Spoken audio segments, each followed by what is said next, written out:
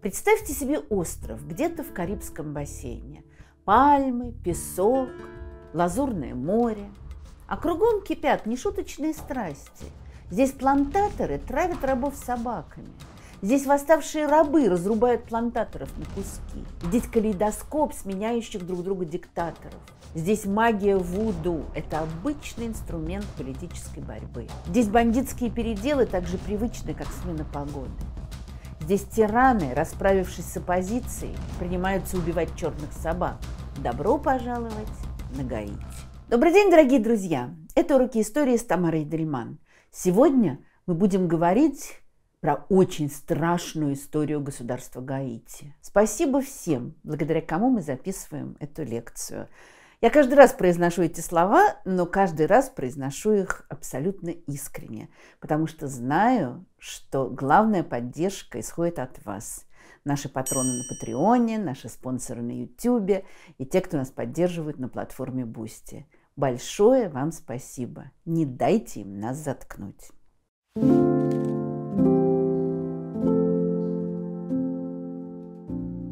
Вот бы у диктаторов разных маленьких Карибских островов, как, впрочем, и больших материковых государств, был всеведущий советник, который бы мог подсказать, не начиная эту войну, или пришло время проводить реформы, скольких ошибок можно было бы избежать. А ведь хороший совет может пригодиться не только правителям. Всем нам бывает нужно обратиться к бизнес-аналитику, маркетологу или даже к психологу. Но стоит это удовольствие недешево. А если нужна не одна консультация, а сильно больше? И здесь на помощь приходит чат GPT. Нейросети могут выступить в роли личного психолога, консультанта, помощника в создании контента, репетитора и просто подкинуть рецепт для готовки. Нужно только уметь правильно спросить. 21 и 22 декабря вы сможете создать своего персонального ассистента на бесплатном двухдневном интенсиве с Артуром Шарифовым, известным блогером, преподавателем по промпт-инжинирингу, лауреатом премии «Просветитель Digital». На этих уроках вы на практике научитесь создавать личного ИИ-консультанта, который останется с вами, и вы сможете его использовать в своей работе. Артур поможет поможет вам освоить технические аспекты работы с приложениями на чат GPT, научит правильно составлять промпты и настроить вашего ИИ-помощника под ваши потребности. Специальных знаний для этого не нужно. Имея своего всеведущего советника, вы станете более эффективным специалистом, в какой бы сфере вы ни работали. Курс бесплатный, а записаться на него вы сможете по ссылке в описании. Спасибо Артуру Шарифову за поддержку уроков истории с Тамарой Эдельман. А вам всем успехов в освоении технологий искусственного интеллекта.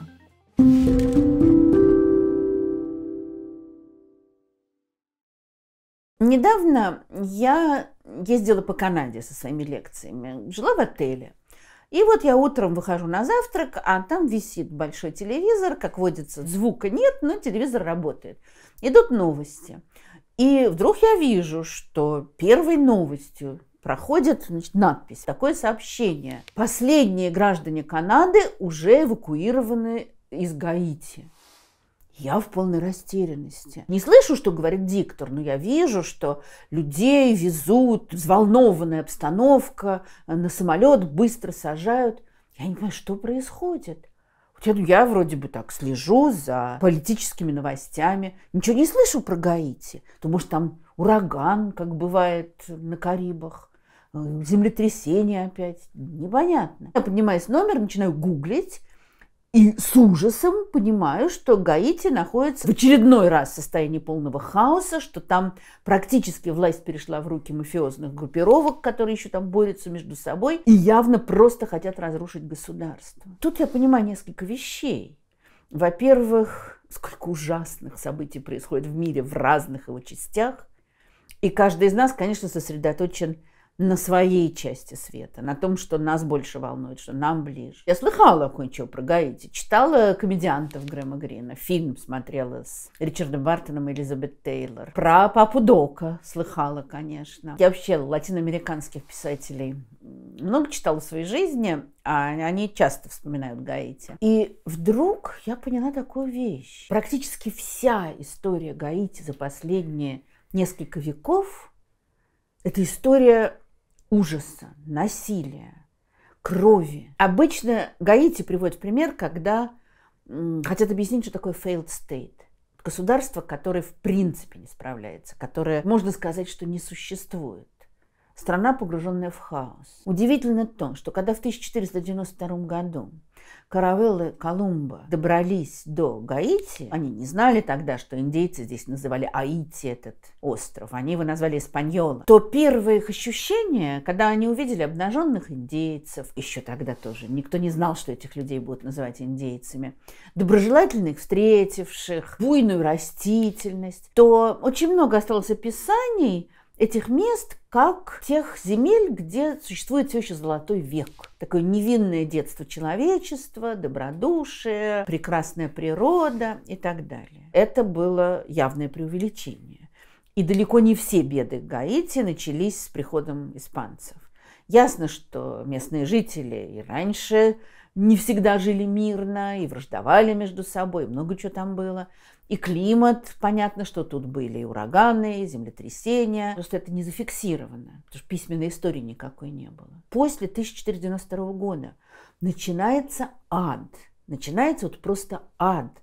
И в истории острова Гаити и государства Гаити а, можно увидеть несколько кусочков относительного процветания. По иронии судьбы, наверное, самое богатое время – в жизни этого острова. Это был 18 век, мы еще сегодня про это поговорим, когда очень богато тут жили плантаты. Что происходило с рабами на плантациях, об этом тоже еще пойдет речь. И был относительно спокойный кусочек в конце 19 века. До этого, после, вплоть до сегодняшнего дня, вот какой-то беспрерывный, беспрерывный круг насилия жуткого, страшного. Конечно, можно сказать, что вот эту вот ужас, злобу принесли испанцы, ну, колонизаторы. И вина их огромна. С другой стороны, мы увидим, что тут вообще трудно найти тех, кто не был бы по горло в крови. И те, кто сегодня гордятся своим африканским прошлым и тем, что они вышли из рабства – они тоже много интересного сделали. Тут вообще трудно найти тех, кто не творил бы ужас. Что здесь происходило? Испанцы построили форт, дали ему прекрасное название Навидад, Рождество, оставили там небольшой гарнизон, и Колумб уплыл. Когда вернулись корабли в составе второй экспедиции, то форт был разрушен, обитатели этого форта были убиты. Ну вот они какие индейцы нехорошие, мы с ними дружить хотели а они всех поубивали. Мы не знаем подробностей, что делали обитатели форта Навидад, но нам понятно, как они обращались с местными жителями.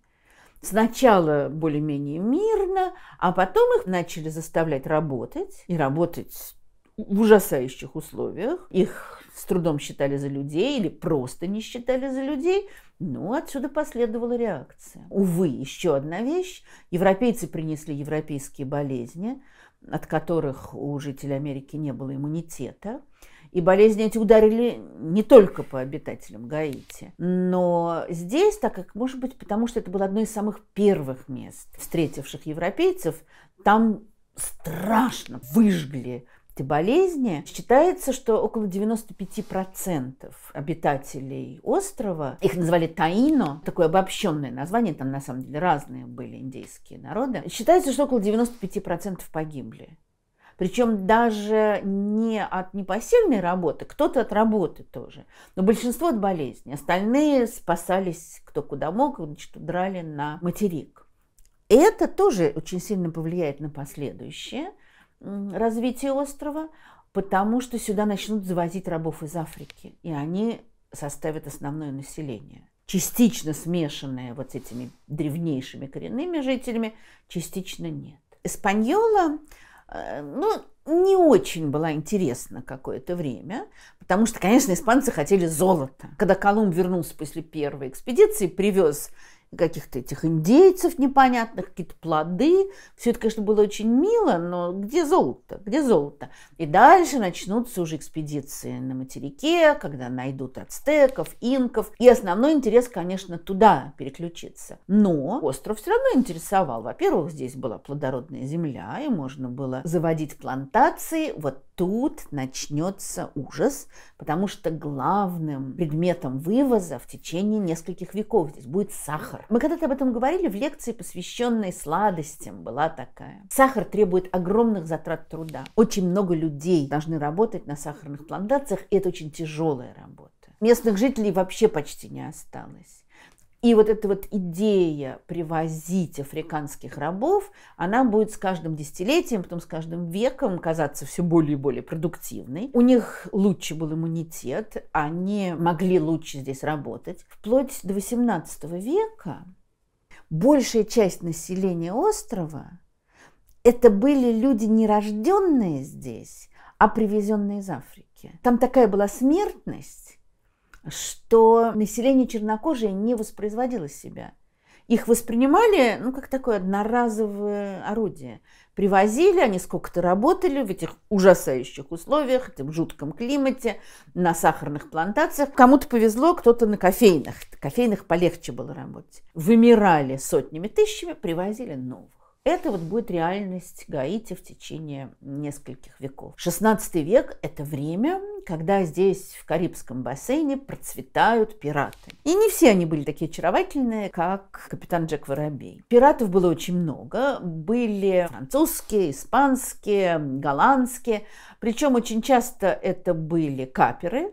То есть они как бы пираты только для врагов они получали удостоверение от своего государства, что они имеют право заниматься пиратским делом. Таким образом, все вот эти государства, соперничавшие в колониях, они поняли, что это очень выгодная ситуация. Вроде бы, там, скажем, французы, англичане не воюют между собой. Или там французы и испанцы иногда воюют, а иногда у них мир.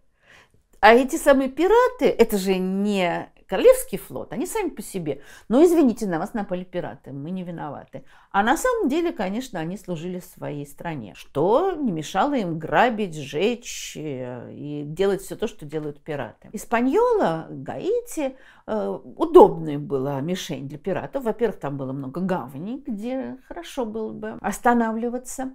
А во-вторых, э, пираты, они же не только грабят. Им, например, надо было прийти, остановиться в гавани, починить корабль, поторговать, может быть. Сложилась такая странная ситуация. Несколько было военных крепостей. Вот главный центр в XVI веке был Санто-Доминго. Поселенцы жили в разных местах на побережье. И очень часто им вообще было выгодно с пиратами торговать. Во-первых, тогда они тебя не будут грабить и жечь они будут к тебе приходить. То есть испанские власти с ужасом обнаружили, что их собственные граждане, переселившиеся сюда, они под шумок торгуют там, с французскими или с голландскими пиратами. Это им не понравилось. И тогда они решили, что надо своих же поселенцев переселить поближе к крепости. И они начали силком переселять, разрушать уже построенные маленькие городки. Типа мы вас будем защищать, а на самом деле мы вас будем контролировать, чтобы вы не торговали с пиратами. Это все делалось очень грубо, насильственно. Те, конечно, не хотели уходить с тех мест, где уже у них там, дом, плантация. Их переселяли, куча народу погибла, лишилась домов. Ничего не добились. Наоборот, побережье оказалось заброшенным, и тут же и французские пираты, и английские, и голландские быстренько начали себе тут создавать базы. И таким образом вот 16-17 век Испаньола, конечно, очень страдает и от набегов пиратов, и от того, что они тут оседают. То есть, с одной стороны, идет вот эта вот ужасающая эксплуатация и остатков местных жителей, и африканских рабов, которых привозят. А с другой стороны, сами европейцы тоже воюют между собой, и происходит много всего жестокого и ужасного. В конце 17 века происходит очень важная тоже для последующей истории вещь, когда западную часть острова испанцы уступают французам. Итак, на острове возникает две колонии, французская и испанская. При этом испанская часть приходит в полный упадок. Испания в конце 17-18 веке уже в упадке, ничего тут особенно не производится, вообще все заброшено. Но вот сегодня испанская часть, это Доминиканская республика, там тоже все не весело. Мы в лекции о том, как свергали диктаторов, говорили о таком, скажем, симпатичном диктаторе Трухилья, который был в Доминиканской республике, но все-таки там ситуация сегодня немножечко получше, чем на части острова, которая сегодня называется Республика Гаити. А в конце 17 века это была французская колония, которую тогда называли Сан-Доминг. Это вообще был очень лакомый кусочек. Эту часть острова называли самой плодородной территорией во всей Вест-Индии называли антильской жемчужиной. Там действительно просто вот все цвело, все росло. И как раз французы создают тут множество сахарных плантаций. И вот сюда привозят, привозят, привозят рабов из Африки. И плантация начинает невероятно богатеть. Здесь появляются новые города. Здесь строится Порто-Пренс, сегодняшняя столица и много другого. Сюда приезжают переселенцы из Франции, потому что тут можно разбогатеть по-настоящему. Жизнь тут, конечно, не сладкая. В 1749 году основали Порто-Пренс, а в 51-м уже было такое землетрясение, что из всех каменных домов, построенных в городе, уцелел один. Потом вроде бы как все наладилось. В 1770-м опять жуткое землетрясение, а за ним еще страшные цунами. Причем сразу погибло 200 человек. Ну, это порядочное число, но не так уж много. Но дальше, под развалинами, от болезней, которые обязательно возникают в такой ситуации, погибло около 30 тысяч. Город опять восстанавливается, жизнь опять налаживается. К 1780 году вот эта французская колония Сан-Доме, Гаити, еще тогда, конечно, не употребляли слово Гаити, но, наверное, для простоты буду его использовать. Там производили 40% всего сахара, потреблявшегося в Европе, и 60% всего кофе. Вот этот кусочек острова производил больше сахара, чем все английские колонии в это время. Это, конечно, приносило очень большие деньги. Но при этом это все делалось за счет ужасающих страданий африканских рабов. И была еще одна черта развития, ну, характерная, конечно, не только для Гаити, но и для других мест, но здесь это было прям выражено очень ярко. Мы не знаем точно, сколько чернокожих рабов работало на плантациях. Их очень много привозили, была очень большая смертность, там есть разные оценки. Но вот считается, что в 80-е годы здесь было около полумиллиона рабов. А французское население составляло 32 тысячи. То есть разрыв огромен. И это значит, что они, конечно, это понимали, и они, конечно, боялись, и поэтому ужесточали отношение к рабам все больше и больше. Тот факт, что здесь очень мало кто был представителем второго поколения. В лучшем случае были те, кого называли Jean de couleur, цветные люди. То есть это в основном те, кого потом будут называть мулатами. То есть это, скорее всего, дети плантатора белого и чернокожей рабыни. И многие из них жили очень даже неплохо. Там было такое понятие, ну, полуофициальное, которое называлось плассаж ну, то есть как бы размещение, помещение. Это предполагало ну, сожительство вот, плантатора с рабыней или, может быть, со свободной цветной женщиной, такие тоже появлялись. Но, естественно, это не был законный уж совсем брак, но он здесь вот в колониях признавался. Белых женщин было мало. Это называлось «mariage de main gauche», то есть свадьба левой руки ну такая вот полузаконная. А дети, которые рождались в таких союзах, они были свободными, они могли наследовать собственность. Очень часто отец о них заботился, оставлял им какое-то имущество, землю, давал образование. И это тоже такая вещь, которая потом будет сказываться много раз, и, к сожалению, в основном в трагическом плане. Во всяком случае, здесь существует белое меньшинство, и существует группа вот этого цветного населения, мулатов. Гаити был островом, где было самое большое свободное цветное население для всех колоний. Они, конечно, все равно были не равны белым. Но они были выше по состоянию, чем рабы на плантациях. И там вот это противоречие тоже было сильно. Все время привозили людей из Африки, привозили людей с африканскими традициями, с африканскими представлениями. И так начинает формироваться религия, которую сегодня называют словом Вуду, которую все, конечно, слышали. Теоретически Вуду – это слово народа Яруба, но на самом деле там были люди самых разных африканских народов. И все это очень сильно перемешивалось.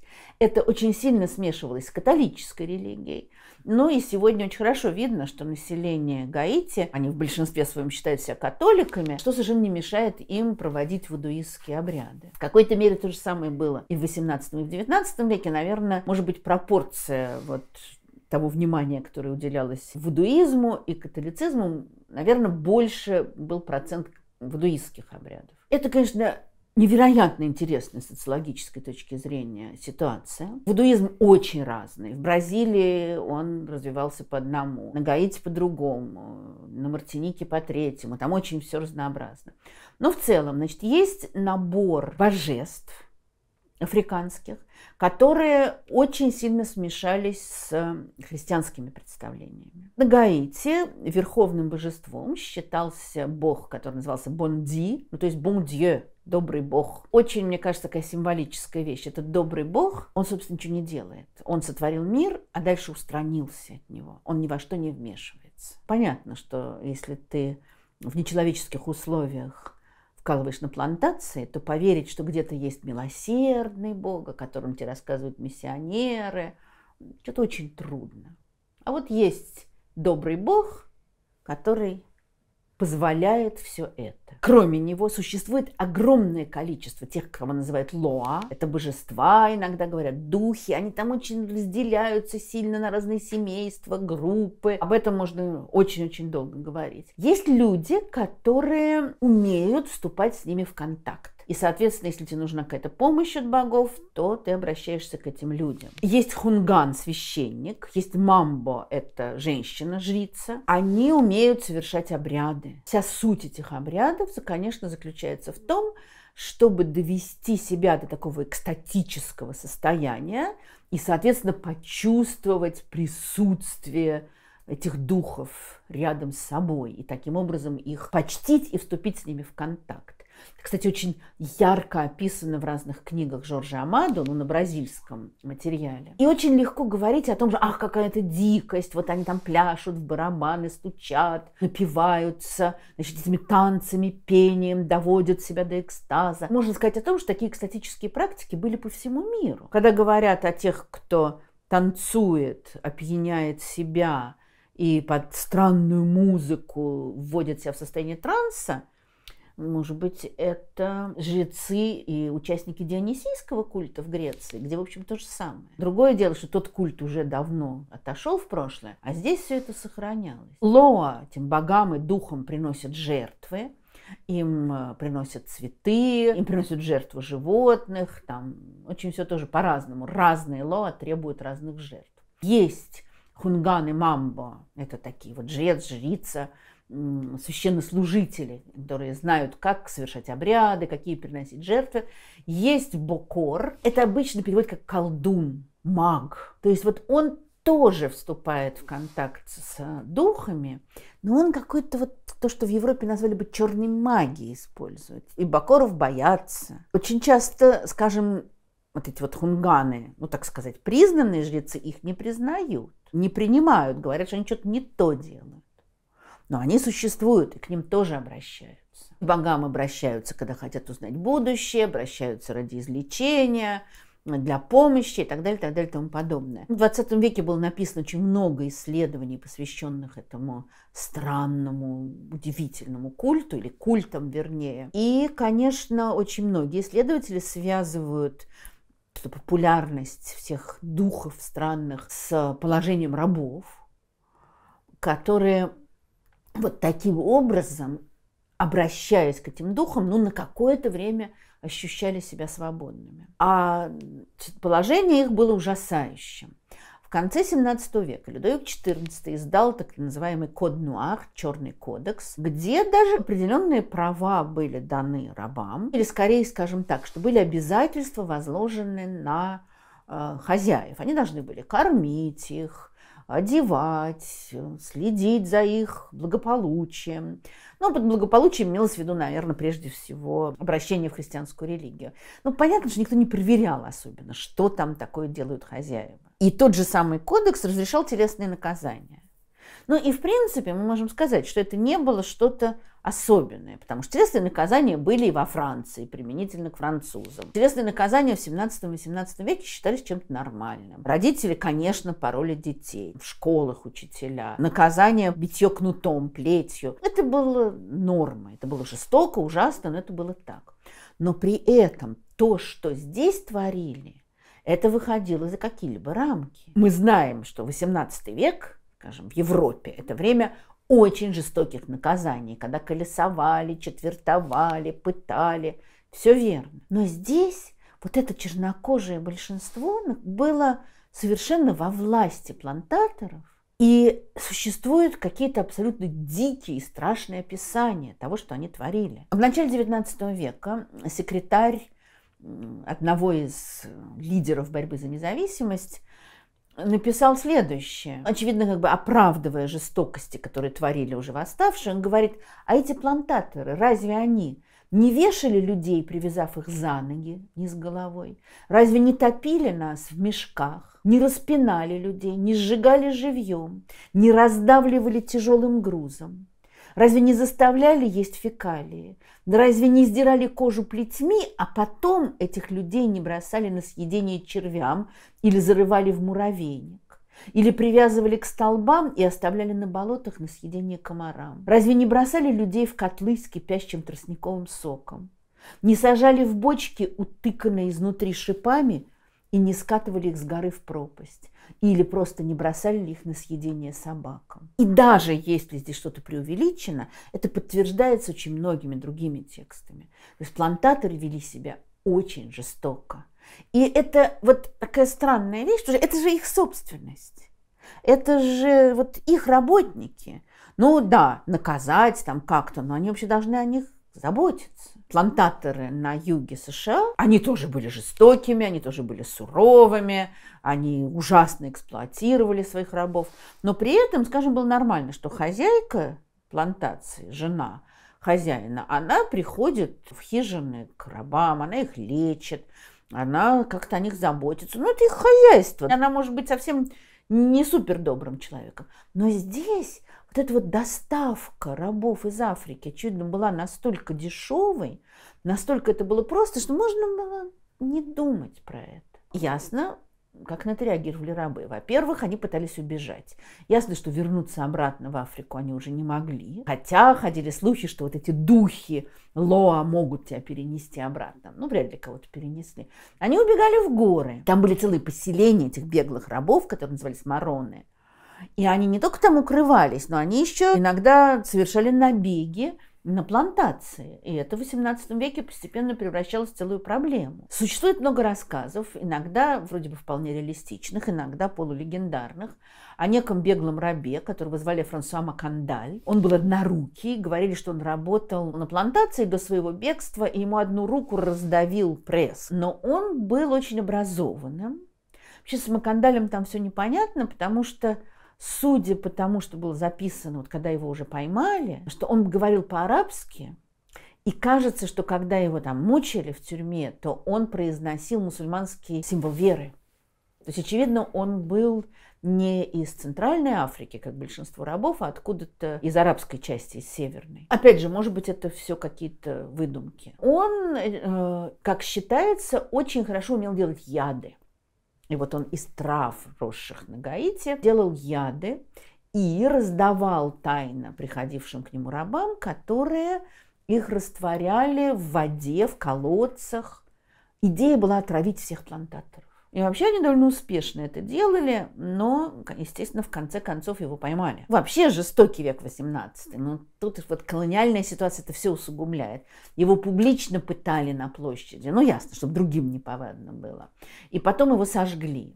Но, конечно, сразу постранились рассказы о том, что никто его не сжег, что все видели, как он превратился в некое крылатое существо и улетел. Ну, то есть вот он тоже стал духом, он стал Лоа и потом будет помогать остальным. Такой была ситуация в тот момент, когда во Франции начинается Великая Французская революция, которая вообще-то провозглашает равенство всех людей. А просто кого имели в виду под людьми? Довольно быстро в Париж приехала делегация мулатов из колонии, образованных вполне, не работавших на плантациях, которые начали добиваться того, чтобы изменили положение, ну, хотя бы мулатов. Национальное собрание в Париже даже выделило несколько мест для представителей колоний. Идет политическая борьба. Эти вот свободные мулаты, они в 1790 году пытаются добиться того, чтобы им гражданские права дали.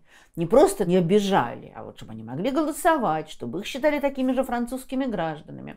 Это, кстати, одна из тем таких в прекрасном романе Леона Фихтвангера «Мудрость чудака». Это как бы роман про Руссо, но там и про колонии, и про борьбу мулатов. Очень все интересно написано. Одним из этих образованных цветных людей, приехавших в Париж, был человек, которого звали Винсен Оже. Его отец был белым, мать была свободной цветной, то есть мулаткой, очевидно. И у них была плантация кофе, он получил хорошее образование, у него было достаточно денег. Он совсем не был похож на то, как э, там, жители Франции представляли себе дикаря из колонии. И он раз пробивал вот эту вот мысль о правах для мулатов.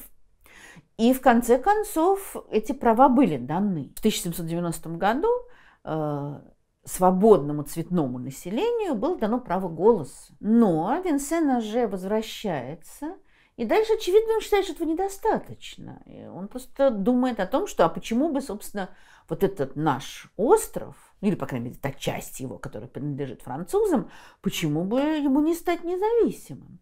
И он поднимает восстание против французов. Понятно, что сначала французам совершенно не до них, у них своя революция разворачивается, якобинцы рвутся к власти, много всего происходит, но сюда посылают войска, и вот очень такая тоже характерная вещь. Эти мулаты, сражавшиеся против французов, во-первых, нам раздавались голоса, что давайте вооружим рабов, и у нас сразу будет большинство огромное.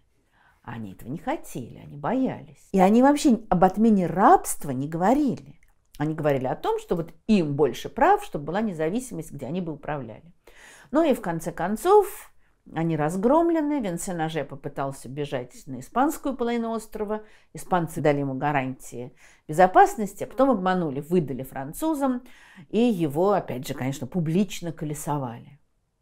Думая таким образом запугать всех остальных. Но наоборот, все произошло совсем не так, как ожидали французы. Прошло совсем немного времени, и 14 августа 1991 года в лесу, который назывался лесом крокодила Буа-Кайман, была проведена мощная вудуистская церемония. Все те, кто там участвовали, вот жрец и жрица, которые ее проводили, они стали такими потом иконами борьбы за сопротивление. Они принесли в жертву богам черную свинью, они провели все ритуалы и призвали чернокожих рабов бороться за свою независимость. И начинается восстание. И это теперь уже не восстание только элиты мулатов, а это восстание большинства населения острова. И вот здесь сказалось то, что плантаторов-то совсем чуть-чуть, когда им там из Франции еще пришлют помощь. Сначала это восстание подавлено. Но в то же время э, во Франции там много чего происходит. Конвент, революционные войны. Они, с одной стороны, провозглашают свободу, но им бы очень хотелось сохранить колонии. И поэтому они начинают думать, что надо бы пойти на уступки. И сначала было объявлено о том, что рабы чернокожие будут освобождены, а потом конвент вообще отменил рабство. То есть вообще пошли на очень большие уступки но уже слишком много крови пролилось, слишком много было жестокости для того, чтобы можно было договориться. Появляется человек, которого звали Франсуа Доминик Туссен Лувертюр, тоже один из героев истории Гаити, который был рабом, которого такая была тоже долгая, печальная история его угнетения. Ему вот к этому моменту было около 50 лет. И он пытался бороться против плантаторов. И сначала он перебежал в испанскую часть и вроде бы там э, пользовался поддержкой испанцев. Когда он услышал о том, что рабство отменено, он вернулся, он даже получает какие-то посты, он э, становится, ну, чем-то вроде, скажем, чиновника. Не совсем правильно, но, во всяком случае, какую-то роль он играет в глазах французских колонизаторов. Но для местных жителей он невероятно популярный человек. Так как он до этого уже вел партизанскую борьбу, то у него есть и военная сила – которая за ним идет. И вот какое-то время он вроде бы готов на сотрудничество, а потом опять он думает, мы хотим полной независимости. Он начинает бороться за независимость. Нам недостаточно того, что вы отменили рабство. Мы хотим вообще, чтобы вас тут не было.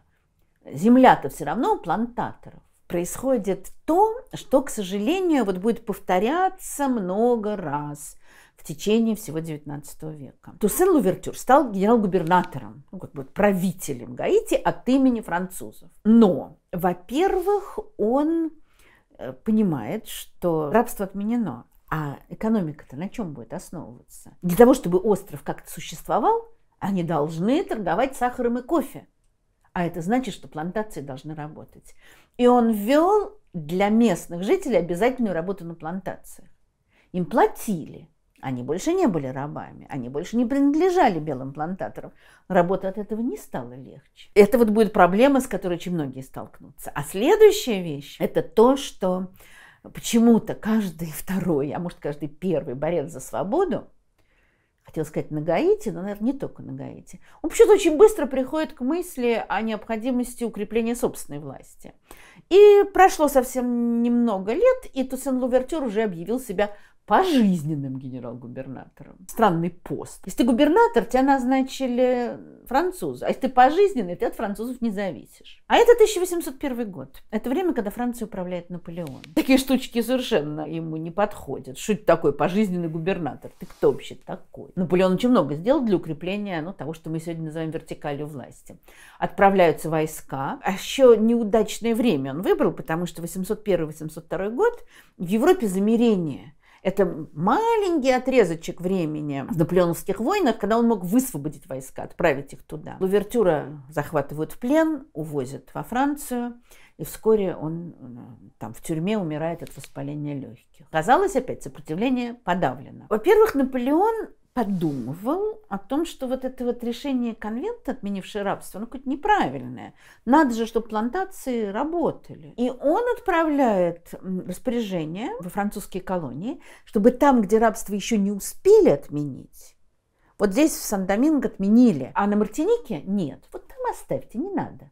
Мы, конечно, наследники французской революции, но пусть рабство останется. И считается, что генералу Леклерку, который здесь подавлял все выступления, отправил тайное сообщение, что вообще надо потихонечку как-то попробовать возродить рабство. Это было тайное сообщение, но то, что происходило на Мартинике и других французских колониях, слухи-то доходили, и вдруг пошли слухи, а французы хотят рабство вернуть, а они все, значит, нас сейчас будут снова угнетать.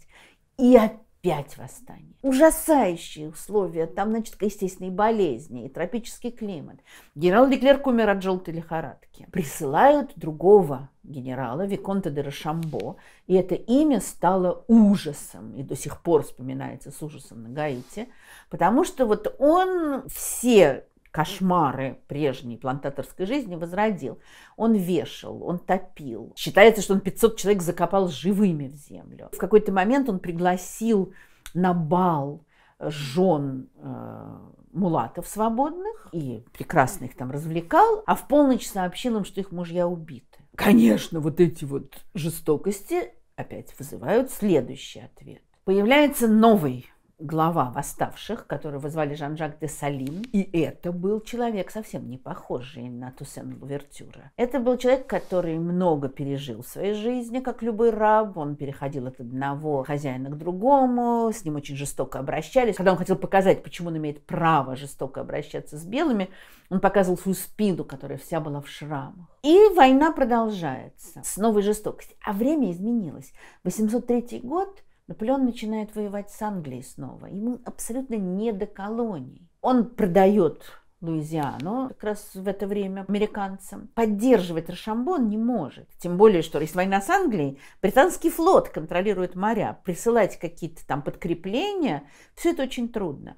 И французы все больше и больше проигрывают. 1 января 1804 года Десалин провозглашает независимое государство. Вот здесь уже появляется название Гаити, и это очень интересная вещь. Десалин все время подчеркивал африканское происхождение жителей, но Аити это было название индейское. То есть он вот в самую древность а, опирался на ассоциации с самой древностью. Считается, что он взял французский флаг и вырвал из него, вырезал белую полосу, потому что белых тут не будет больше. Он говорил, что Декларацию независимости надо писать на пергаменте, сделанном из кожи белого человека, вместо чернильницы использовать череп белого человека, вместо чернил его кровь и штык вместо пера. Он умел красиво все выстраивать, красиво говорить, но говорил он и творил жуткие совершенно вещи. По мере того, как восставшие занимали территории, но французам просто ничего не оставалось, как уйти уже. Происходили ужасающие убийства белого населения. Причем всюду это было примерно по одной схеме. Французские войска ушли, и там какие-то где-то кого-то убили, может быть, но немного. Приезжает Десалин в город со своими людьми.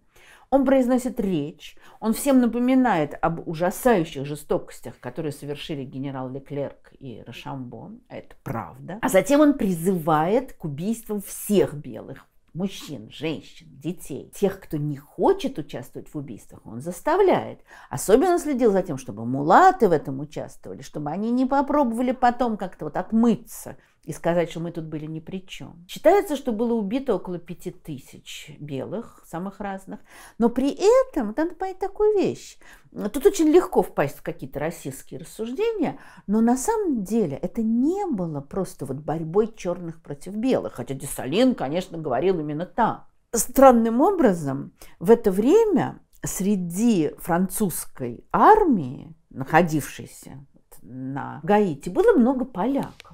Понятно почему, потому что поляки верно служили Наполеону, многих из них отправили воевать в колонии. И тут оказалось, что вот эти польские военные, которые сами лишены своей родины, Польша в это время разделена между Россией, Австрией и Пруссией, они сочувствуют коренному населению Гаити – они понимают, что те борются за свободу. Довольно много поляков отказались воевать против восставших и перешли на их сторону. Поэтому вот когда была эта резня, то поляков не убивали. Десалин сказал, поляки – это белые негры. И их оставили. Потом им предложили даже остаться.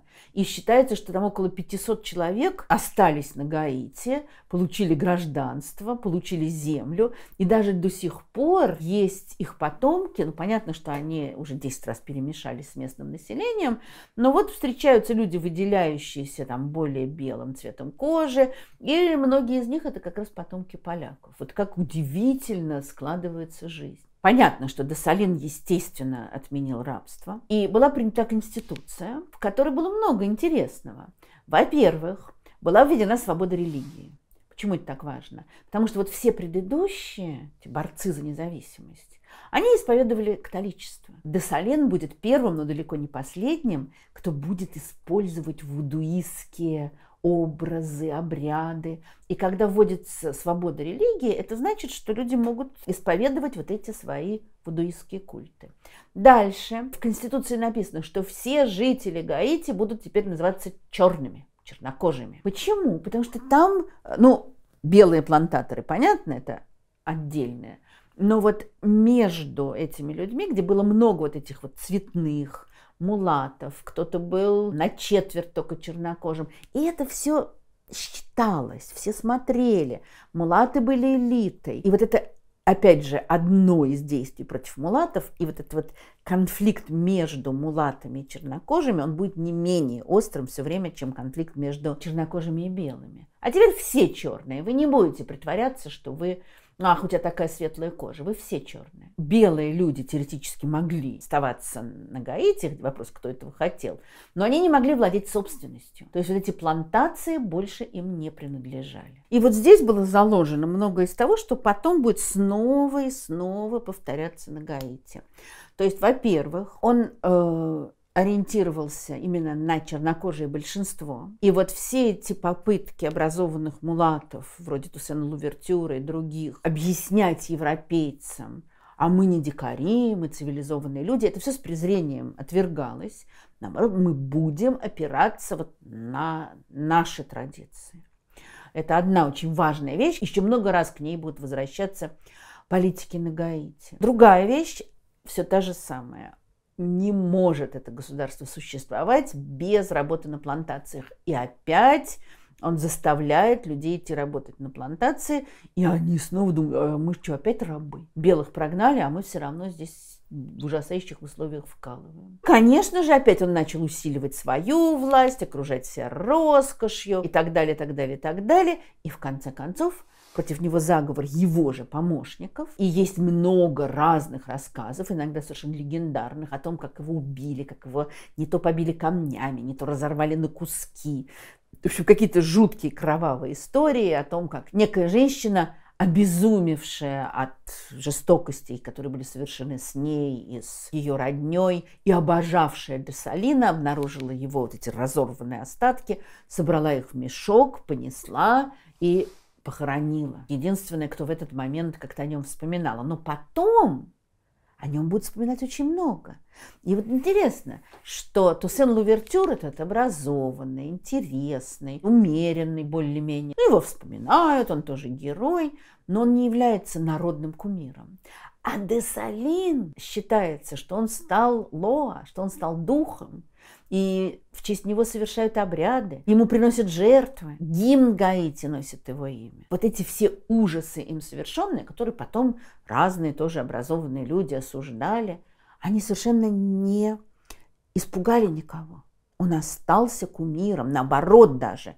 Вот его убили, а после этого он стал вообще уже божеством. Хотя, конечно, его обожествляют не за то, что он сделал с белыми, а за то, что он боролся за независимость. Все равно, конечно, он совершал ужасающие вещи. Два помощника Дессалина, Кристоф и Петион, они разделили между собой территории, как бы на какое-то время два государства создали.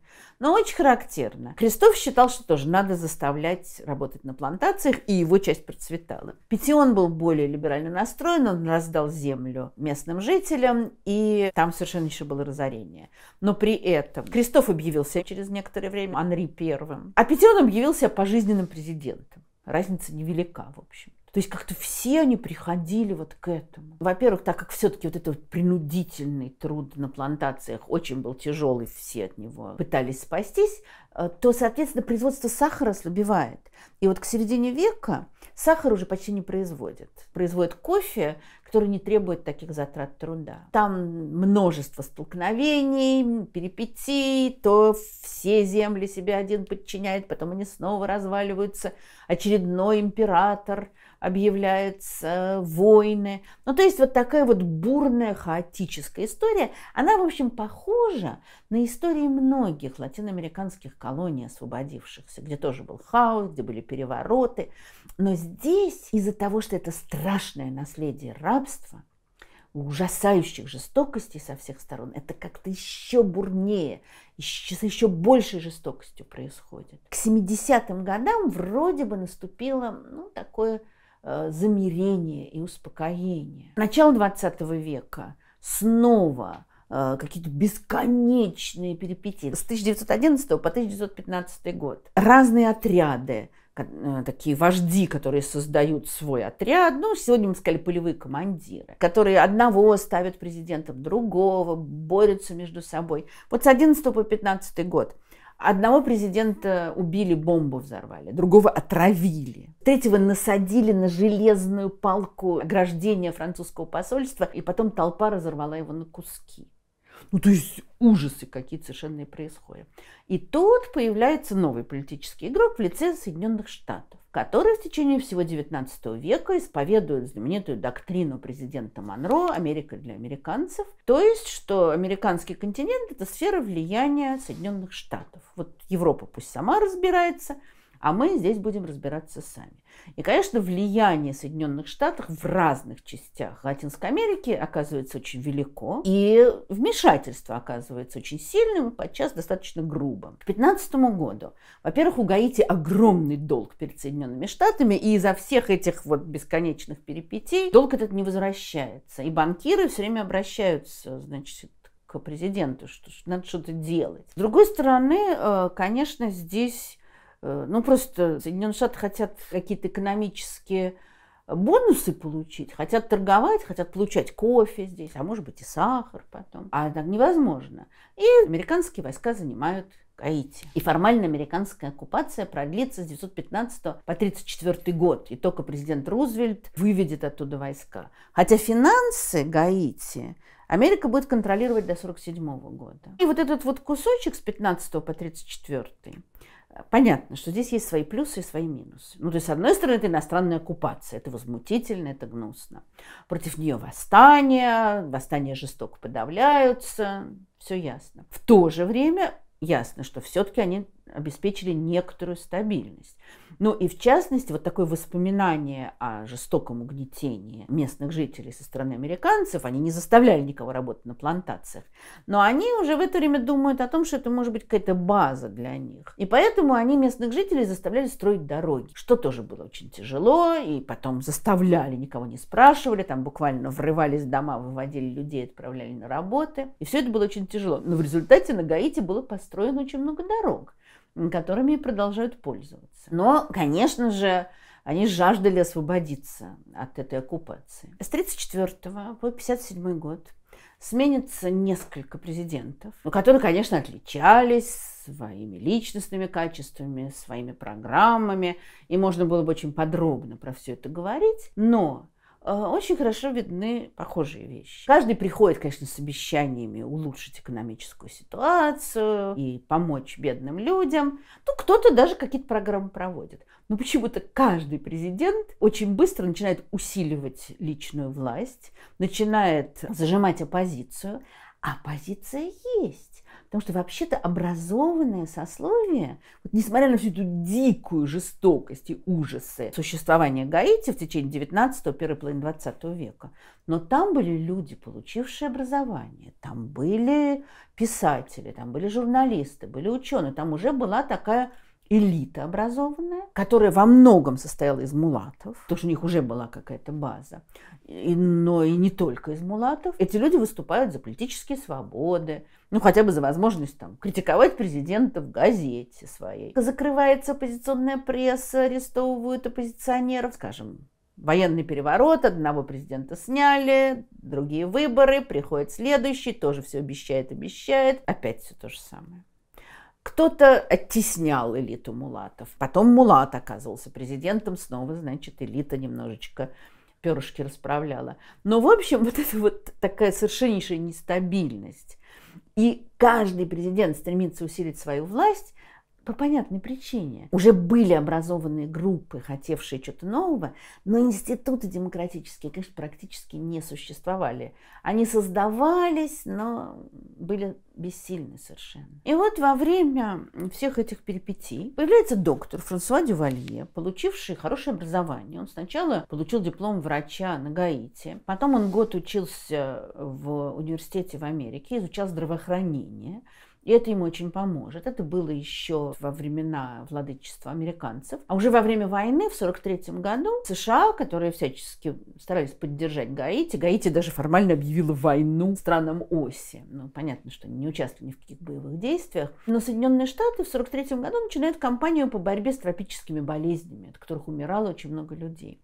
И вот Франсуа Дювалье очень хорошо себя проявил в этой компании, как хороший врач, как хороший очень организатор, человек, который заботился о людях. Он много очень сделал добра, когда боролся с тифом и другими болезнями.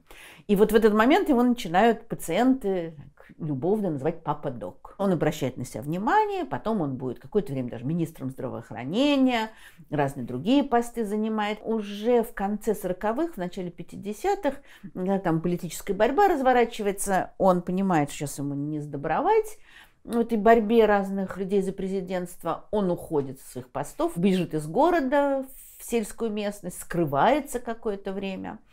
И в 1956 году когда там, значит, очередной президент качается, колеблется, и непонятно, что будет дальше, то Дювалье, еще находясь в подполье даже, он заявляет, что он будет выдвигать свою кандидатуру на пост президента.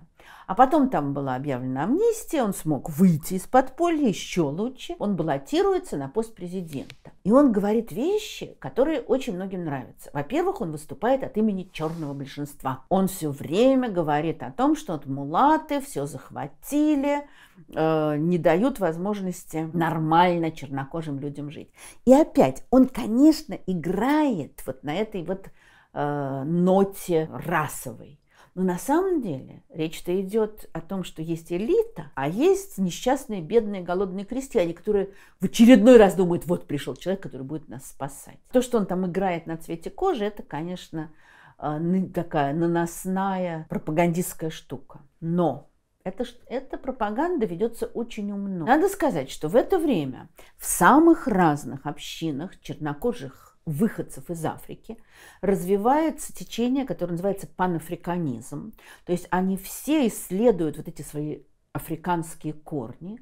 Они все исходят из того, что все выходцы из Африки обладают общей судьбой, общими качествами и должны держаться вместе. На самом деле очень похожие вещи можно найти в разных самых других группах. Там славянофильство, которое тоже почему-то говорит, что все славяне обладают общей судьбой. Это все похожие вещи. Вот выдумывается некая, ну, на мой взгляд, совершенно воображаемая общность. В это же время в разных африканских странах, основном во французских колониях, развивается движение, которое называется негритюд. Но оно знаменито прежде всего благодаря президенту Сенегала Леопольду Седар Сенгору, который был поэтом, много писал, философствовал о единстве африканской расы, как это называлось, об особенностях африканцев и тех, кто вышел из Африки. Дальше уже говорилось об их превосходстве над белыми.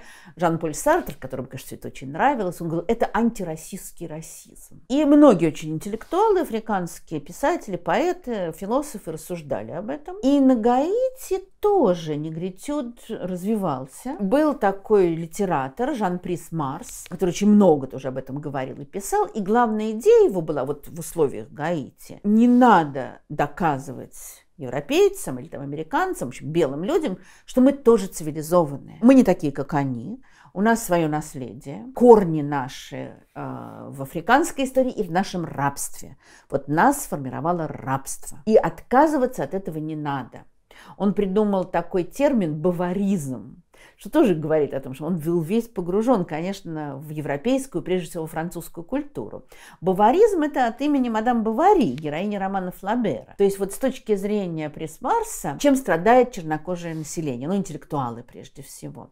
Мадам Бавари была очень недовольна своим положением, вот этой такой мелкой мещаночки в провинциальном городе, и она пыталась отречься от этого положения, не понимая, что ее происхождение формирует как раз ее идентичность. И, соответственно, вот это же делают жители Гаити. Они пытаются отказаться от своих корней, чтобы доказать там что-то и стать другими. А это невозможно. Тоже очень распространенная в разных частях мира теория, которая имеет и свои плюсы, и свои минусы. Тут можно соглашаться, можно спорить.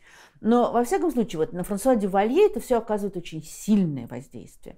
И свою всю кампанию президентскую он строит на том, что он выразитель интересов чернокожих бедняков, что он прекрасно знает Вуду и поддерживает вот все это Вуду как корень, как традиция, то, что невероятно важно. И то, что вот потомки рабов, это вот это нас всех сближает. И он становится президентом, намного обогнав своего соперника, а соперником его был богатый, образованный мулат. Чернокожее большинство проголосовало за того, кто показался им их человек. Это, увы, не первый, не последний пример того, как страшный, жуткий тиран приходит к власти демократическим путем.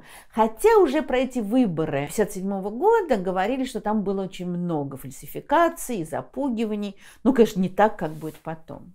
И Дювалье становится президентом. А дальше он начинает укреплять свою власть. Ну, естественно, он начал с того, что со всех постов выгнал тех, кто поддерживал его соперника на выборах. Это так, для начала. Дальше. Понятно, что на Гаити, как в любой такой слабо развитой стране, где там, скажем, суд плохо работает, где есть университет, но тоже это не какая-то мощная вещь, там большую роль играет армия. И действительно, вот все эти предыдущие десятилетия армия кого-то выдвигала, кого-то свергала. Это мощная сила. И это Дювалье папе Доку совсем не нравится. Он все время проводит чистки в армии, Тут ему еще представляется повод. В 1958 году несколько бывших армейских офицеров, их было всего несколько человек, и еще несколько американских наемников, тоже военных, они высадились на Гаити, они собирались свергнуть Папу Дока. Их схватили, арестовали, казнили, и Папа Док использует это для того, чтобы, во-первых, провести жесточайшую чистку в армии и сломить ее, а дальше он начинает создавать собственную опору. И как водится, конечно же, говорится о том, что это будет народные силы, которые будут его защищать. Поэтому эти вот новые жуткие отряды, которые станут символом ужасающей диктатуры Дювалье, они называются милицией. Милиция предполагает, что это народное ополчение. Она еще называется добровольная милиция национальной безопасности. То есть вот такие добровольцы, которые пошли защищать безопасность страны от всяких вторжений. Но вот это вот все название очень быстро будет забыто, потому что эти страшные отряды будут прославлены печально под названием Тантон Макутов. Тантон Макут – это один из тоже духов, в которых верят, что они существуют на Гаити. Это значит, дядюшка джутовый мешок. Ну, какой-то мужик страшный с мешком. Он ходит с этим мешком и забирает туда непослушных детей. Здесь все очень характерно. И то, что население это как дети, которых можно наказывать как угодно и делать с ними все, что угодно. И то, что уже с самого начала он начинает играть на этих вудуистских образах. И сейчас мы увидим, как этого будет все больше и больше и больше. Тантон Макуты выглядели вроде бы ну, как бы ничего особенного. Они были в джинсовых рубашках, в соломенных шляпах. Ну, они же не военные, они добровольная милиция. И в черных очках. Главное их оружие это было мачете. Естественно, у них были и револьверы, и оружие, все что угодно. Но носили они вот так демонстративно мачете. Нож огромный. И это все играло на образы, вполне понятные тем несчастным людям, которых они запугивали, грабили, избивали и убивали. Джинсовая ткань, твердая хлопчатобумажная, в принципе, ткань, это одежда одного из духов. Духа этого зовут Азака, и это защитник бедняков. Как водится, угнетатели очень любят представлять себя защитниками. Мачете и все, что связано с железом, это м, атрибуты бога Агуна, пришедшего из народа Яруба африканского. Это покровитель кузнецов, железо, огонь, вот такое все врачей, не забудем, что папа Док у нас врач, он отвечает за установление справедливости, ну, они устанавливали ее так, как они считали нужным, и за политическую власть, то есть это такой вот бог-царь. И они с Мачете тоже оказывались такими царями всего острова. Тантон Макуты несли ответственность только перед самим президентом. Никаким органам государственным, ничему они не подчинялись. Они творили все, что хотели. Они побивали людей камнями, они сжигали живьем, они пытали ужасно. Очень часто повешенных развешивали на деревьях, чтобы вот всех запугать. Похищали трупы, и очень быстро пошли слухи о том, что эти трупы оживают. Вот весь этот образ их должен был вызывать ассоциации с сверхъестественными силами. Слово «зомби», столь нам знакомое по множеству фильмов, вообще-то пришло из вудуистских представлений. Но это не совсем те вот мертвецы ходячие, как в миллионе разных картин. Они действительно ходят. Но главное это то, что зомби – это человек, который не находит покоя в загробном мире, потому что главное божество, отвечающее за загробный мир, барон Суббота, барон Самди, не пропустил их туда. Или же Бакор, колдун, этот черный маг, оживил их и сделал своими рабами. Или же часть души у них украл. В общем, это очень сложные такие запутанные представления о том, как человек даже после смерти становится рабом вот этих мрачных вудуистских духов. В романе у Грэма Грина в «Комедиантах» там страшная сцена, когда доктор Филиппо, министр, который понимает, что сейчас его арестуют, будут мучить и казнить, он кончает с собой. И когда жена пытается его похоронить, появляются Тантон Макуты, и несмотря на протесты присутствующих при этом американцев, они увозят гроб. И никто не знает, куда и зачем они его увозят. И главный герой, от лица которого ведется повествование, говорит, кому может мешать покойник? Почему не дают вдове его похоронить? А работающий в его отеле житель Гаити говорит, невежественные люди, они верят в то, что Папа Док оживляет таких людей. Он ему говорит, а ты во что веришь? Я невежественный человек. То есть он тоже в это верит. Человек, который в течение долгого времени возглавлял Антон Макутов, которого звали Лакнер Камброн, он, помимо вот всех этих ужасов, которые творились по его приказанию, с его участием, у него еще была своя фирма. Ну, Коррупция там была, естественно, невероятная. А вот у него была фирма, которая занималась тем, что она вывозила с Гаити донорскую плазму, плазму крови. И тела для медицинских исследований. И поэтому, во-первых, людей заставляли сдавать кровь, и выкачивали кровь, и трупы вывозили этих убитых несчастных. У него было прозвище «Карибский вампир». Это был его бизнес. Причем бизнес грязный во всех смыслах. Во-первых, кого-то там насильственно кровь изымали, трупы похищали. А во-вторых, там было очень просто плохо с санитарными условиями. И эта кровь, которая вывозилась, донорская, она была грязная, она была зараженная. Есть такая версия, ну, я не уверена, что она соответствует, ну, никто не может проверить ее по-настоящему, но высказывались предположения, что где-то в районе 66 года из Африки приехал человек, который был носителем вируса СПИДа, и дальше вот здесь его кровь была выкачана, не проверена, не очищена, и что вот отсюда началось распространение СПИДа дальше. Не берусь судить. Но очень характерно тоже, что и такое тоже рассказывают.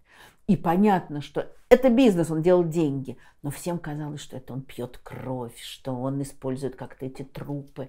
Вот здесь на всем лежал покров черной магии. Жуткой причем. К 1961 году в составе отрядов Антон Макутов было в два раза больше человек, чем в армии. То есть он создал свою армию, подчинявшуюся только ему и творившему все, что угодно. Это можно сравнить, очевидно, с опричниками Ивана Грозного. У них была особая одежда, они тоже играли с разными мистическими образами. Но только опричнина 7 лет продолжалось. А здесь будет намного больше. И даже после смерти Папы Дока они сохранятся. А дальше вообще начинаются какие-то абсолютно безумные события. В 1959 году у Франсуа Дювалье был обширный инфаркт. Очевидно, у него был передоз инсулина, потому что он был еще и диабетик. И он э, довольно долго находился в коме. У его врача потом была теория, что вот после этой комы у него начались какие-то психические сдвиги. Хотя, с другой стороны, то, что он делал до этого, тоже показывает, мягко говоря, не слишком нормального человека. А в то же время любят объяснять все жестокости тиранов паранойей, э, шизофренией. Конечно, их личности не совсем нормальные. Но при этом они прекрасно умеют продумывать свои действия, вести интриги. Так что это не сумасшествие. В этом безумии есть система. Вот он выходит из комы. Начинается долгий процесс реабилитации. И своим заместителем, который выполняет функции главы государства на это время, он назначил человека, которому вроде бы вполне доверял.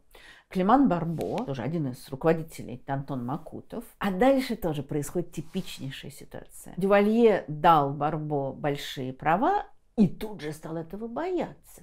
И тут же стал его подозревать, что тот хочет его свергнуть. Барбо все прекрасно понял и решил не дожидаться, пока его убьют. Он попытался похитить детей Дювалье и добиться его свержения – Ничего не вышло. Недолгое время он скрывался, и его ловили. И вот в этот момент вдруг оказалось, что Дювалье не то действительно верит, не то делает вид, что верит, что Климан Барбо, ну, может быть, потому что он Тантон Макут, или, может быть, потому что он ему служит, может превращаться в черную собаку. И он приказал убивать всех черных собак, потому что, может быть, это вот его враг. Климана Барбо нашли вполне в человеческом виде и убили.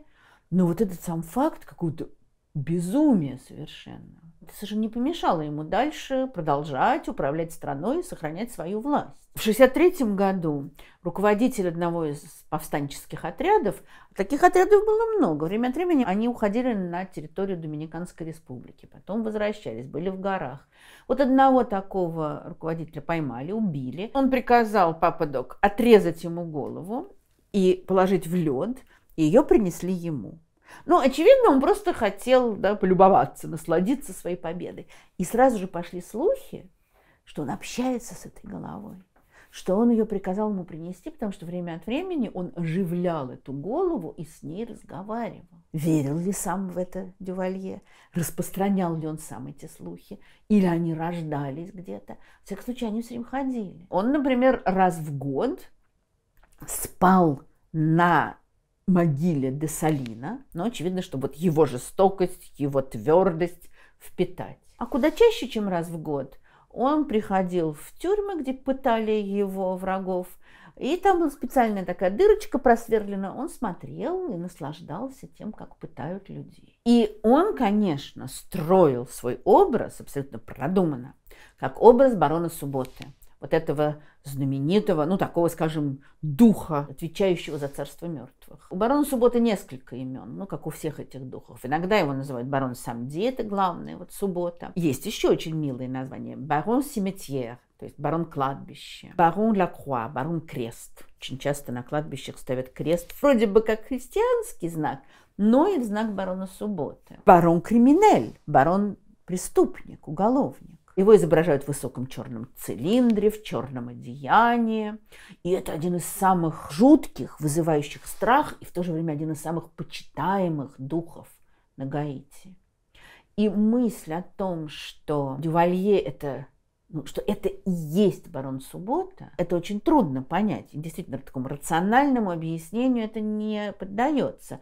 Но магическое сознание, которое, конечно, очень сильно там распространено на Гаити, оно преодолевает такие противоречия, оно не знает рациональных разделений. И представление о том, что Дювалье барон Суббота было очень распространено. А барон Суббота может пропустить тебя в царство мертвых, а может тебя сделать зомби. Он может владеть твоим телом и твоей душой. И лучше с ним не ссориться, и надо ему подчиняться, и приносить ему жертвы. А пропаганда этим очень пользовалась. Ну, конечно, нигде прямо не говорилось, что Папа Док – это барон Суббота. Но так как Вуду не просто там не запрещалось, а всячески поддерживалось, и на с этими образами работали. А параллельно с этим, вот с каждым годом его сравнивали все с более и более какими-то важными мистическими персонажами. Говорили, что Папа Док един с Лоа, значит, с духами, с Христом и с Господом Богом. Он, то есть вообще он, он просто Господь Бог. Там была построена очень мощная плотина на реке. ГЭС была создана, естественно, которая должна была давать электричество всей стране. Правда, экологию вокруг этой реки разрушили ужасающе. Там леса все высохли, вырубили, и плотина это плохо работала. Но когда она открывалась, то всюду были плакаты развешаны, что только Франсуа Дювалье может победить мощь этой реки. А другой был плакат тоже везде, где Христос стоит с ним, положив ему руку на плечо и говорит, я избрал его. Это не только особенности Папы Дока, очень многие диктаторы играют на религиозных чувствах, а церковь-то хотят себе подчинить. С одной стороны, он вроде бы воплощение барона Суббота, значит, все вудуисты должны ему подчиняться и бояться его. В то же время его избрал Христос, но он же развивает независимость и корни использует гаитянские. Поэтому он в начале 60-х изгнал э, с острова всех епископов, иностранного происхождения, сказав, что дело в том, что вот должны быть наши природные. Ну, ясно, что просто эти епископы были в ужасе от того, что происходит. Но вообще в это время в Латинской Америке очень сильно движение церкви такой, э, который противостоит диктатуру. И же он их изгнал. Его отлучили от церкви. Да, а что ему, если его Христос избрал? Но тоже, вот, увы, все идут на соглашение. Для Ватикана, естественно, было очень важно, чтобы епископы вернулись. И в 1966 году они договорились с папой Доком. Ватикан будет назначать епископов, но преимущество будет отдаваться местным жителям. А папа Док будет проверять эти кандидатуры. Формально они сохранили как бы лицо, но они признали право его контролировать церковь. В 1961 году прошли новые президентские выборы. Вот это очень интересно. Он уже тут и дух, и Господь Бог, и кто угодно, и черных собак стрелять. А вот надо провести выборы, надо всем показать, какой он демократический. Может быть, вы удивитесь, но сто процентов э, голосовавших проголосовали за то, чтобы он еще шесть лет оставался президентом. Нью-Йорк Таймс написал, что Латинская Америка знает много жульнических выборов, но настолько жульнических, это даже для Латинской Америки очень много. Вскоре после этого Соединенные Штаты приостановили экономическую помощь помощь, а вообще шла огромная экономическая помощь Гаити.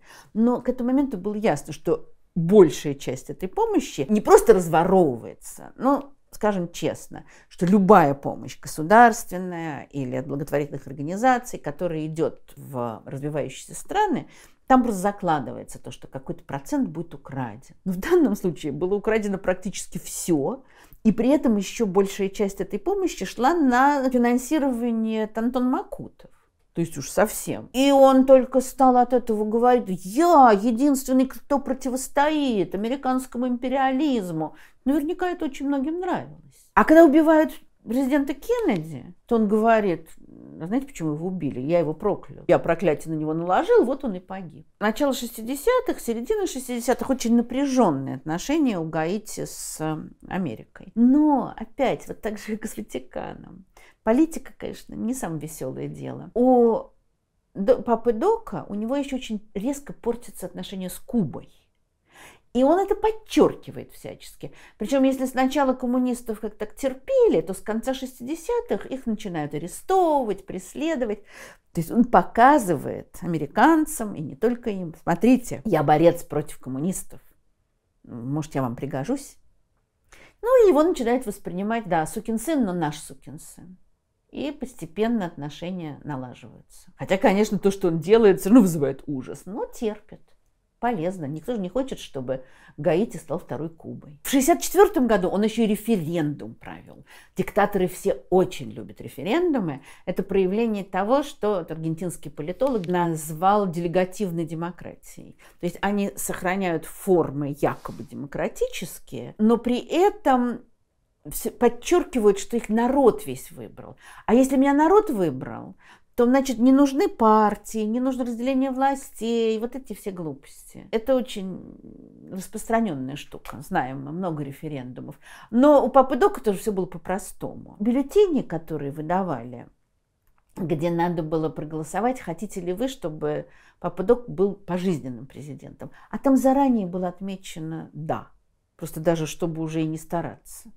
Ну, результат оказался, в общем, предсказуемым. И он получил пожизненное президентство. Репрессии шли постоянно. Действительно очень похоже на опричнину. Это войско, э, никому, кроме президента, не подчиняющееся, оно, естественно, упивается собственной безнаказанностью. Конечно, прежде всего удары падают там, на э, оппозицию, на тех, кто не успел удрать или там спрятаться в иностранном посольстве, вот на священников выступающих, на бизнесменов, которые не хотят платить дань, а дань они макуты со всех снимают. Но при этом, если какая-то бедная чернокожая женщина, а вроде бы Дювалье, вот защитник ее, если она что-то не то сказала, если она обругала этих Тантон Макутов, то ее точно так же могут и пытать, и убить, и все что угодно. В 1967 году бомбы взорвались около президентского дворца кто-то хотел организовать покушение.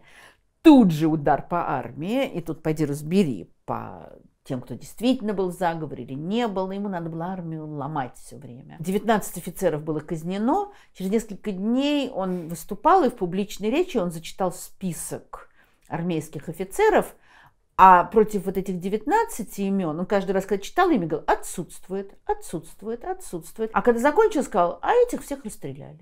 Ну, то есть, чтобы точно вот все знали, что происходит. Конечно, все, кто могли, бежали из страны.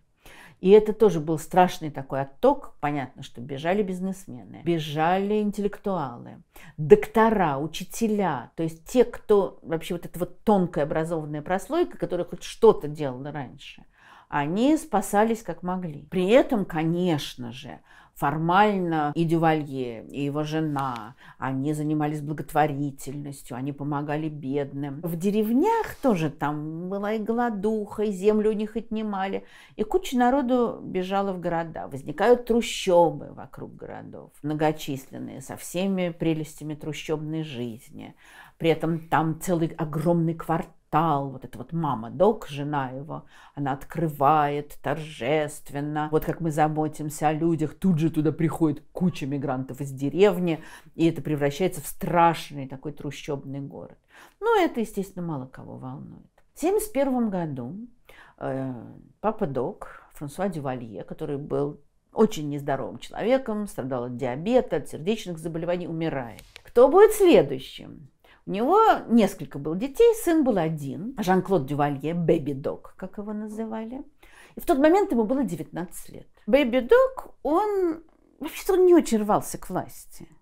Он уже был совершенно такой развращенный молодой человек. И он хотел только вести жизнь плейбоя. Собственно, что он и будет делать. И там разные силы боролись. Он вообще думал, что ну, вот пусть мама моя всем управляет, а я буду так радоваться жизни.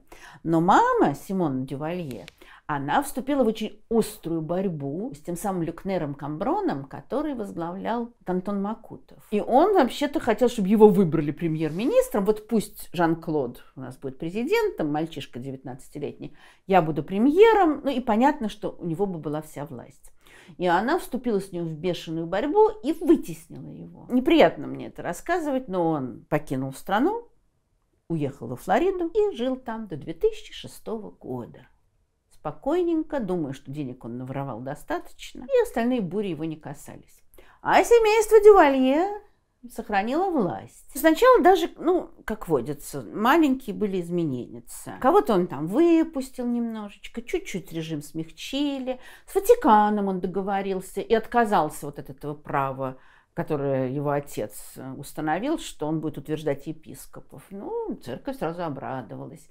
При этом все продолжалось. Антон Макуты остались. Даже там специальный праздник был огромный, устроен в их честь, и они там выходили, стреляли по людям, так праздновали. Продолжали всех арестовывать, пытать. Ну, даже сначала как-то вот Бэби Док, он чем-то там поинтересовался немножечко, а потом у него дворцы, у него развлечения, машины, его окружение, там мамаша и разные советники всем рулят. В 80-м году он женился на женщине по имени Мишель Беннет. Голодным и совершенно разоренным в Гаити на свадьбу его было потрачено 2 миллиона. Это была роскошь совершенно невиданная.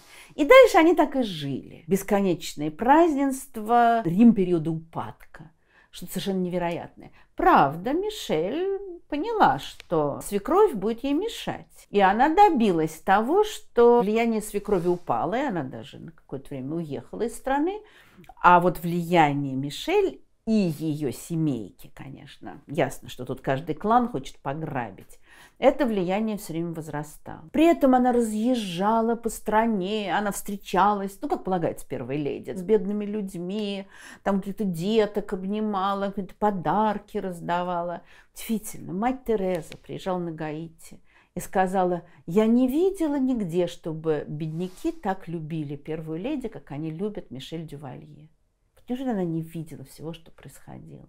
Или она хотела таким образом добиться чего-то для церкви? Боюсь, что так. При этом Мишель Дювалье была мулаткой, и она происходила из такой вот богатой, старинной семьи. То есть это как раз те круги, которые отец Дювалье давил. А теперь все хорошо, все радуются, все воруют, все наслаждаются жизнью. Между тем, в 1978 году свиной грипп. Международная организация не находит ничего лучше, как потребовать уничтожения всего поголовья свиней на Гаити. Свиноводство была важная часть сельского хозяйства. И это разорило огромное количество фермеров. В 80-е годы начинается распространение СПИДа. И на Гаити СПИД затрагивает огромное количество людей. То есть вот эта страна голодная, с разваливающейся экономикой, с бушующими болезнями, с совершенно разваленным здравоохранением, с разваленной, но вообще несуществующей социальной политикой и с продолжением репрессивных всех мер со зверствами Антон Макутов это просто ад. В 83 году на Гаити приезжал Папа Римский, Иоанн Павел II, который сказал в своей проповеди, что что-то должно быть сделано, должны быть перемены. И очень многие задумались над этим. Ну, очевидно, и раньше задумывались. В 85 году начинается восстание. В одном городе, в другом, в третьем. Бэби Дог, ну, не такой же он был бэби в это время, но прозвище осталось. Он, с одной стороны, уменьшил цены на продовольствие, а дальше, считаешь, этого уже достаточно, газеты закрывают, полиция разгоняет всех, сажают, арестовывают. А восстание продолжается. Ну, уже настолько люди доведены. В 1986 году президент Рейган, который с большим волнением наблюдал за всем этим, начал давить на Дювалье, чтобы он отрекся. Тот очень долго упирался, не хотел, конечно, отказываться от власти. В конце концов, просто стало ясно, что его убьют скоро. И они уехали из страны с женой. Причем очень долго было непонятно, где они будут жить, потому что их никто не хотел пускать. Они пытались разные африканские страны, в Грецию, еще куда-то их не брали. В конце концов, временное убежище им дала Франция, и тут же начались протесты, начались требования, чтобы они уехали. Его дома обыскали, нашли там драгоценностей, невероятные суммы. Тут он еще развелся с женой своей. Мамочка, правда, приехала, с мамочкой они жили. Вроде бы как денег нет, потому что у него, конечно, на швейцарских счетах были миллионы и миллионы, но счета эти были заморожены. Ну, вроде бы как он так скромненько жил, но никаких попыток чем-то заняться у него не было. Ну, очевидно, он и не умел ничего, хотя он получил там какое-то образование когда его спрашивали, а что он делает, я пишу мемуары. Ну, так вот как это все и проходило. И он судился за свои счета. Причем в какой-то момент швейцарский суд разрешил разморозить часть этих денег, хотя ясно, что деньги были украдены у народа. Но швейцарское министерство иностранных дел сказало, нет, извините, мы все равно их блокируем. Но, во всяком случае, он не голодал. То есть, очевидно, после всех его дворцов и перов ему это казалось чуть ли не нищетой, но он жил вполне достаточно, нормально. В начале 2000-х он делал какие-то попытки вернуться в политическую жизнь Гаити. Но на Гаити продолжались бурные и очень тоже странные события. Какое-то время там был переходный военный совет. Потом были назначены выборы. Там шла такая борьба группировок, и опять Антон Макуты практически сохранялись. И люди пришли на избирательные участки, а там стали стрелять по тем, кто собирался голосовать. По одним сведениям 30 человек убили, по другим 300. Выборы отменили. Через некоторое время их снова назначили, никто не пришел, потому что просто все боялись. Хаос ужасный. Опять какие-то столкновения разных отрядов, разных политиков – ну, то есть творится просто ужас. В 1990 году на выборах с довольно большим отрывом побеждает человек по имени Жан-Бертран Аристид, чья судьба тоже удивительна. Он был из очень бедной семьи, религиозный человек, он был священником, он много учился и на Гаити, и потом он учился за границей, был очень хорошо образован. Он не просто служил в церкви, он явно в течение многих лет воспринимал свою деятельность как служение, как заботу о бедняках. И поэтому он был очень популярен. Он критиковал режим Дювалье, поэтому на какое-то время его там, от греха подальше отправили служить в церкви в Монреале. Потом он вернулся, он говорил все, что думает, он там организовывал разную помощь беднякам, какие-то общественные объединения. На него несколько раз покушались. Уже в 1988 году, во время этого как раз такого хаотического периода после бегства Бэби Дока, на его церковь напал отряд Антон Макутов во время службы воскресной. Подожгли церковь, там много людей погибло, еще больше было ранено, он сам скрывался. То есть вот он действительно был такой популярный защитник людей, причем человек подвергавшийся опасности ради других людей. Его пытались выслать.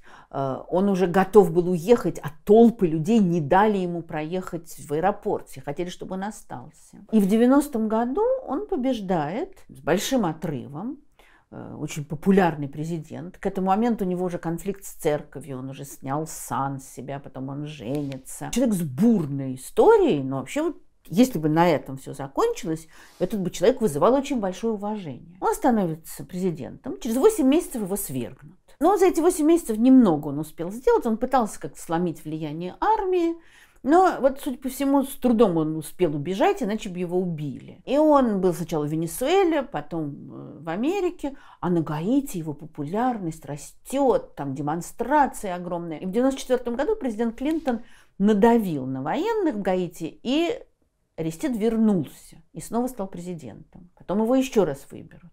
И дальше произошло вот то же, что было и в XIX веке. Он начал преследовать оппозицию, он начал укреплять свою деспотическую власть, он начал воровать. То есть вот из такого честного, жертвенного борца за дела бедняков он превратился опять в коррумпированного президента пытающегося установить диктаторскую власть. Против него уже огромное движение. В 2004 году он улетает из страны, причем когда уже он покинул страну, то он заявил, что его чуть ли не насильно вывезли американцы, вот ЦРУ, а так бы он остался. И так это, в общем, по этому поводу много есть разных высказываний. Американцы говорят, да нет, он нас умолял, чтобы мы его увезли. Говорит, нет, вы меня вывезли, вы меня похитили. Тут дальше вскрылось, конечно, сколько он украл и сколько там было нарушений. Но после этого тоже там менялись президенты, а ситуация никак не выравнивалась, потому что политический хаос оставался, ужасное экономическое положение оставалось. И дальше следующий ужасающий удар наносит природа, когда 12 января 2010 года происходит тяжелейшее, огромное, сильнейшее землетрясение. И большая часть городов оказывается просто в руинах. И все какие-то попытки, которые делались в предыдущие годы, когда ну как-то там, пусть воровали, пусть настроились больницы, школы, все рушится. И разрушены государственные учреждения, и ну не говорю уж про жилые дома, помещения, в которых находились международные организации. А дальше, естественно, как происходит после таких вещей, начинаются заболевания, потому что, естественно, разрушен водопровод, разрушена канализация. То есть это был страшный, ужасающий удар это природа.